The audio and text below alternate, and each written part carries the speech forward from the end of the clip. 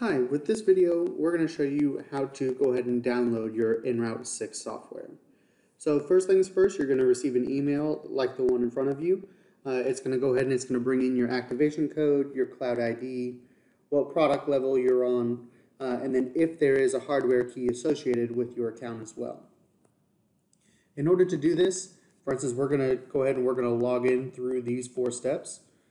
We are going to have to go to saicloud.com and then what we're going to do is we're going to paste in this activation code. So what I'm going to do is I'm going to go ahead and I'm going to copy this at the moment. We do have to go into SAI Cloud.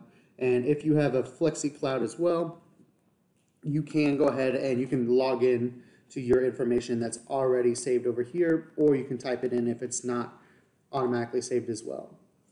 If I have a new account, what I would do is I'd come in here and I would activate a new code by pasting it in here. Since I already have an account, what I'm going to do is I'm going to go ahead and click a login. And I'm going to come over here and I'm going to go ahead and say activate new software. I'm going to paste in this code and I'm going to go ahead and say activate. The next screen that you're going to see is it's going to say, okay, are you going to confirm that you're activating the software? Which right now I'm going to say yes. We are activating an NFR for EnRoute 6 at this time. This is going to be the software ID number. Uh, for instance, if you call in for support or help, they are going to ask you for this number here, and I'm going to show you that it shows you on your account as well. So for now, I'm going to click Activate Now. Now I can go ahead and I can start downloading that software. So now I can go ahead and click Download, and it's going to go ahead and download to my computer. However, if I come back to the software, this is the one that we just installed. So this is my home screen. I can click on this and it will take us back to that menu that we just were. I can download from this menu and I can also copy the activation code or tell out the software ID. For instance, like I said, if you call in for support or help on this scenario as well. Okay, I click on this, it's gonna take us back to the screen that we were. Once again, your license down here. I can come up here, I can see when it expires, if it does, if it's perpetual, it'll say perpetual on it, where it does not expire and then it'll also tell you what level it is. Currently, the build that we are on now is 610. And now what we're going to do is once it's downloaded, we're going to go ahead and we are going to open up this program and we're actually going to install EnRoute onto the computer.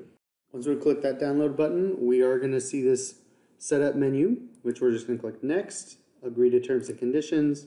We do have to set it a path for it, which is going to be on your C drive. So this is just going to be my NFR test. And we are going to go ahead and install it.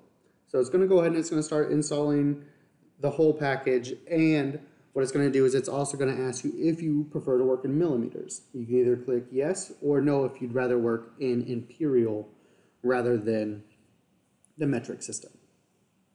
Okay, so we're going to go ahead and we're going to let it download and go through its process, and then it should pop up with our millimeters, which we're going to click no. Inside here, and then it's going to go ahead and it's going to bring up the license manager next, so we can actually paste in that activation code. So I'm going to paste in our activation code, click next, and it's going to say license successful, and since it's an NFR, I'm going to pick a version. If you bought a perpetual key, it is not going to ask you for this. It will automatically do this on install.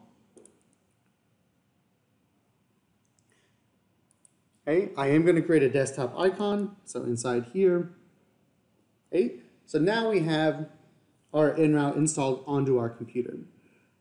So in order to do this, what I'm going to do is I'm going to double click on this. Uh, however, if you do have multiple installs, you may have to right click and choose run it as, run as administrator. If you have a dongle associated to your software, what you'll need to do is open up your C drive and go into the folder that you were in, that you installed it in, and there's going to be a hardware key software button, which you would then download the software in order to associate that, that driver with the dongle, and then you'll be able to open up EnRoute. So what we're going to do now is we're going to go ahead and we're going to just open up EnRoute. And the first thing you're going to see is a couple resource videos that you have available to you per install. And then also inside here, you also have the help menu. So if you click about, it will give you your software ID number and also the build number that you're on as well.